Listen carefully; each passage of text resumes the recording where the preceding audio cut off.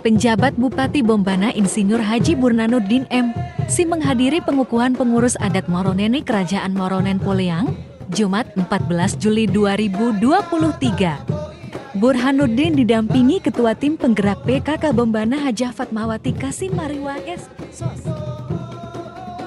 Penjabat Bupati Bombana dalam sambutannya mengatakan masyarakat adat Moronen di Kerajaan Moronen Poleang telah banyak memberikan dukungan dan kontribusi nyata dalam pembangunan di Kabupaten Bombana.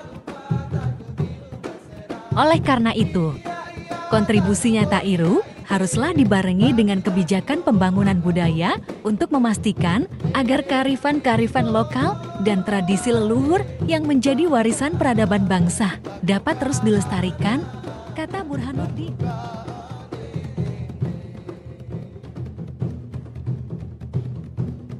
Dewan Adat Moronene satu-satunya lembaga resmi yang telah didaftarkan pada Kementerian Hukum dan HAM yang bertujuan melaksanakan pemajuan kebudayaan yang salah satu tanggung jawabnya melindungi, memelihara, dan mengembangkan 10 objek kebudayaan yang ada di Kabupaten Bombana.